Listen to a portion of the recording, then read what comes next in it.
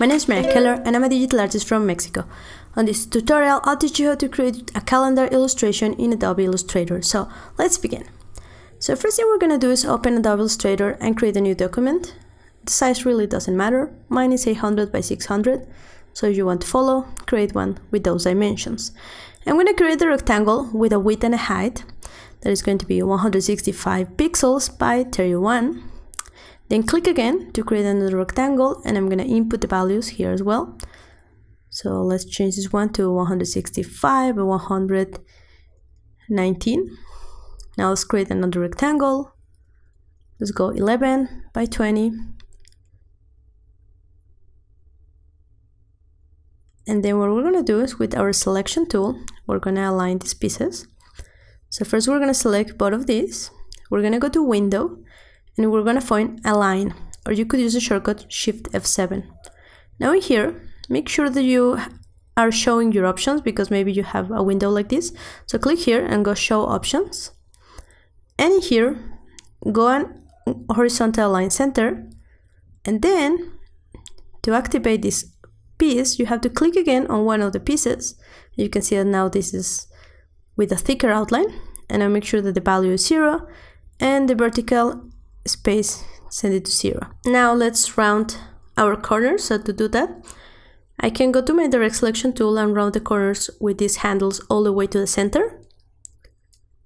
Next I'm gonna remove the stroke and change the color. I had already selected my colors in advance so feel free to use the same or pick your own colors depending on the mood you want for your calendar.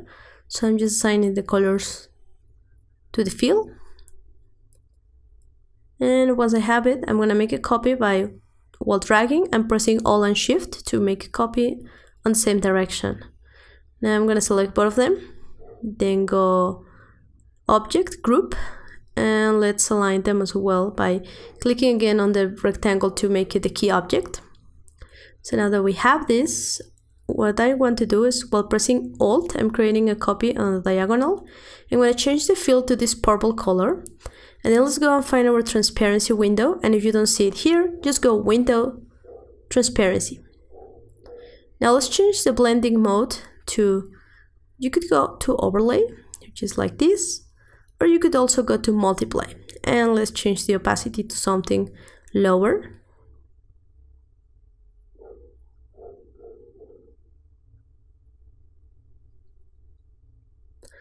So I think 60 would work fine. Now I'm going to cut them by going edit cut or pressing Ctrl X. Then selecting the rectangle, I'm going to go to this icon and go draw inside. Then I'm going to press Ctrl Shift B to paste in place and then go back to draw normal. Now that I have this, I would like to create a copy, but you can see that if I do that, I'm going to bring the other. So I can double click and you can see that if I do that, I go inside this and I can select the rectangle, Ctrl C, and let's press Ctrl Shift B to paste in place. It's only the rectangle. Let's move it below a little bit. And now let's change the color to something darker. Now again, I'm gonna Ctrl X, draw inside mode by clicking on this, Ctrl Shift B to paste in place, and then just you can just simply double click outside to, to go outside that mode. Now let's go and copy the same rectangle, so Ctrl C, Ctrl P. And let's change the color to something darker and make sure that everything is aligned.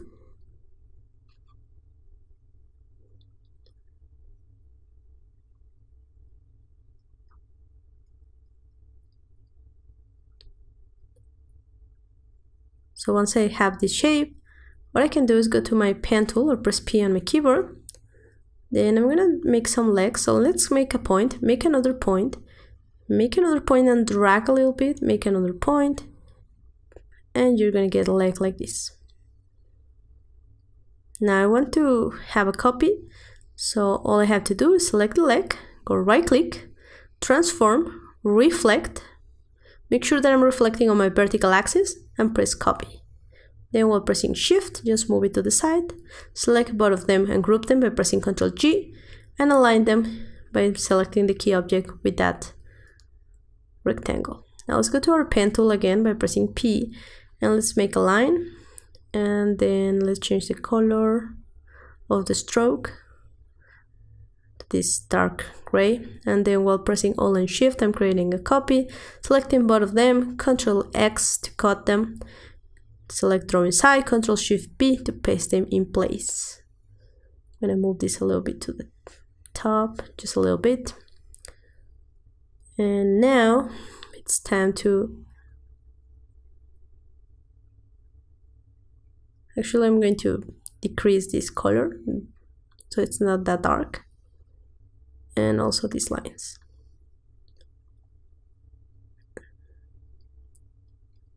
next I'm gonna go to my pen tool. And let's make a point then make another one and drag. And you can see that I keep just making a point and dragging a little bit to draw the shape of these hands.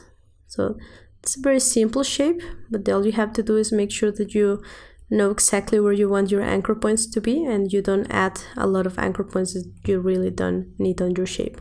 So when you have it just right click and arrange and set it back now let's select it and go transform reflect and make a copy move it to the side, select both of them, group them by pressing Ctrl G, and align them properly to the center.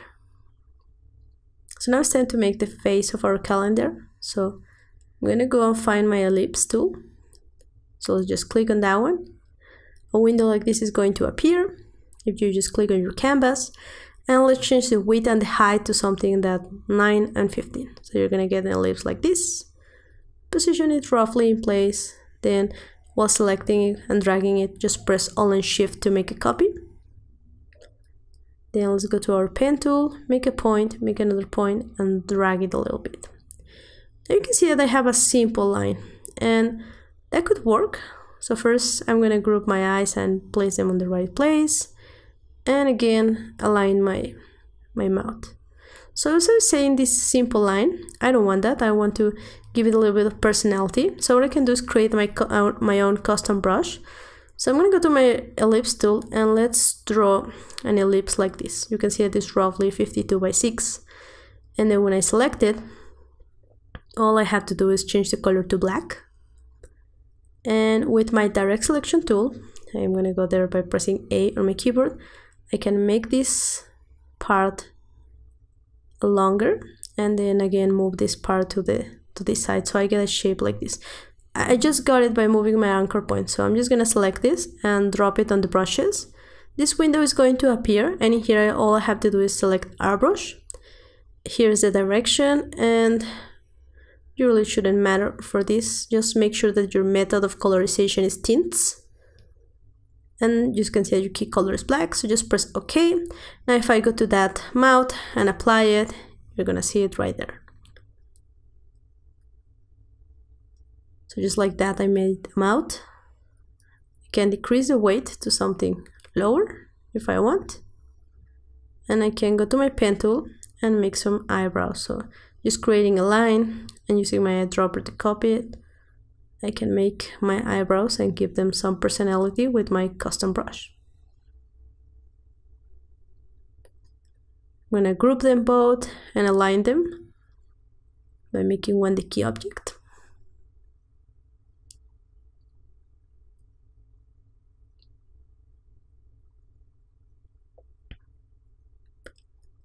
I'm gonna bring this lower and I can delete this shape because I don't need it anymore now that I have my custom brush created. So now I need to add some days or text to my calendar. So to do that, I can go to Google Fonts, which all of them are free. And let's go find a font that I like that is called Bree Serif. So right here, you can just download it. And once you do that, you can go to your type tool by going here, click on, and you can type your text. So let's type January, and I'll change the font here to the Bree that we just downloaded, and we can change the font size to 21, let's change the color to white, and now let's align it to this rectangle. By clicking on it, making sure that this is a key object, and go horizontal and vertical. Now I can drag by pressing Alt and make a copy, double click, and now it's just type 1. You cannot see it because this is white, but if I change the color, now you see it. Now all I have to do, select the right color, and let's change this one to 72. So I can go right click and create outline so I get only the shape and I can make it a little bit bigger, align it properly to horizontally and vertically and I can go Control X to cut it and just double click on this rectangle, the one that had the little shadow and just Control Shift B to paste it in place. And as you can see this right there below my face. So now that I have it, I can go and create an ellipse. I'm going to create a circle. So let's make one that is 228 by 228. Let's fill it with this purple color. Then go right click, arrange, send to back. And I'll select everything but the circle and group it. So just pressing Ctrl G, we're going here to object group. And let's select everything. Make sure that you're aligning to artboard and not to selection. And then go horizontal and vertical align center. Now I can move this circle or actually the calendar a little bit to the top so they are not centered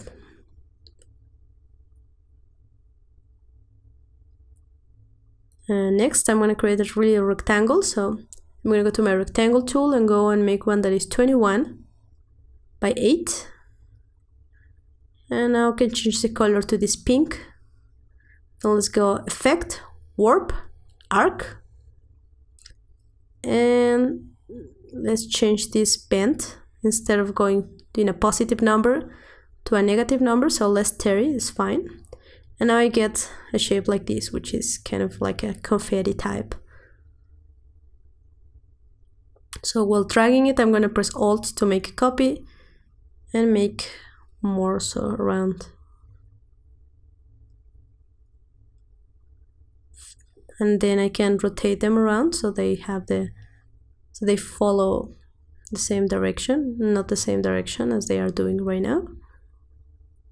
So just with five like this. And I can give each one a different color to make it more festive